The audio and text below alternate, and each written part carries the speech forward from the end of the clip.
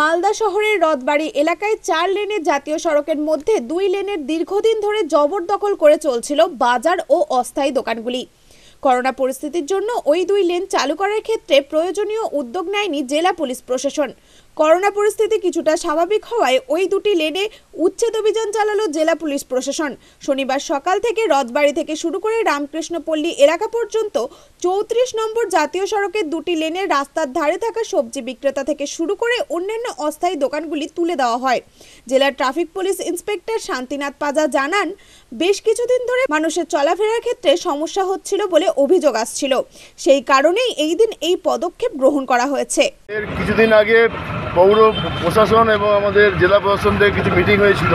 আমাদের গোটা জেলায়, আমাদের পৌরসভাতেই আমরা দেখছেন যে ইলিগাল পার্কিং আমরা সরাচ্ছি। আগে যেটা আমরা করছি, রথবাড়ি থেকে তিনশো কুড়ি মোড় পর্যন্ত যে সার্ভিস লেনটা আছে সার্ভিস লেন দিয়ে আগামীকাল থেকে বাস চলাচল করা হবে। এবং এই যে ফুটপাথ ফুটপাথে যাতে মানুষ হাঁটতে পারে, যে সমস্ত দোকানপাট আছে, অস্থায়ীভাবে তাদের আমরা অনুরোধ করছি, তাদের সরিয়ে দেওয়া হচ্ছে। এবং এই রাস্তার উপরে যে সমস্ত দোকান বা মোটরসাইকেল আছে, তাদেরকে আমরা প্রসিকিউশন বা আমরা সেগুলো দেখছি এবং কাল থেকে পুরোপুরিভাবে এখান থেকে বাস চলবে এবং ফুটপাথ দিয়ে মানুষ যাবে।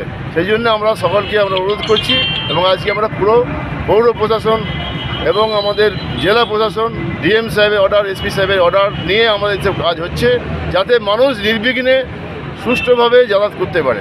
এই লাইনের বাস কি বন্ধ ছিল কতদিন ধরে? কিছুদিন বন্ধ ছিল মাঝে বন্ধ ছিল আবার কাল থেকে সকাল থেকে চালু হবে। চারটি লেনে দেখা যায় বেআইনি পার্কিং সেটার ব্যবস্থা নিচ্ছেন কিছু? হ্যাঁ পার্কিংয়ের জন্য অলরেডি পৌর প্রশাসনে যেখানে ব্যবস্থা করেছেন অলরেডি আমরা তিন চার দিন রেড করছি গাড়ি সেখানেই রাখতে হবে।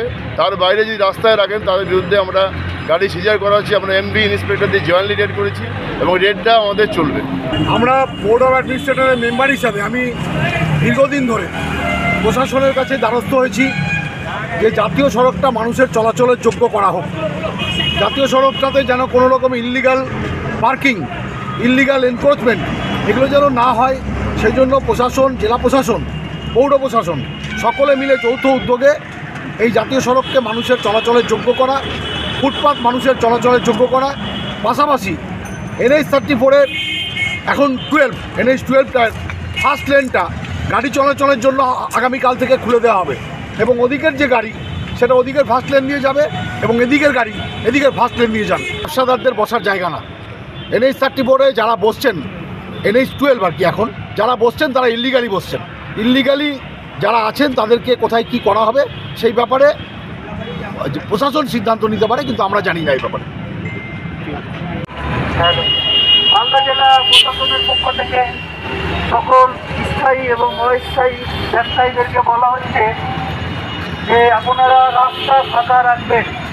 রাস্তার উপর মালদা থেকে দেবু সিং এর রিপোর্ট, আনন্দ বার্তা।